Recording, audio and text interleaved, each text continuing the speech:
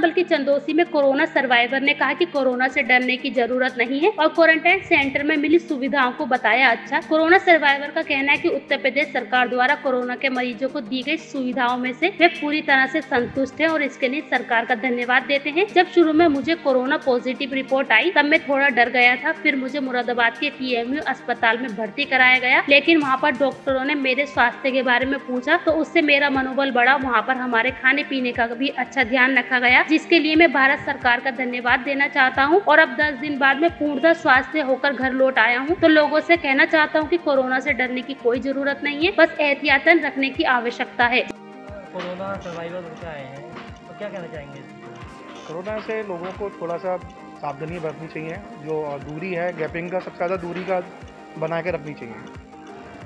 कम से कम दो मीटर की दूरी बना के रखनी चाहिए। और कोई बीमारी से आदमी जब स्टार्टिंग में नाम सोचता है कि कोरोना हो गया तब डर लगता है। पर वो बीमारी ऐसी बड़ी कोई बीमारी नहीं है। जब हॉस्पिटलाइज में होते हैं तो लोगों को 50 परसेंट ऐसे लोग मिलते हैं जिसमें जिनमें लक्षण भी नहीं होते। और उनको उनको देख के ना हिम्मत बढ़ती है।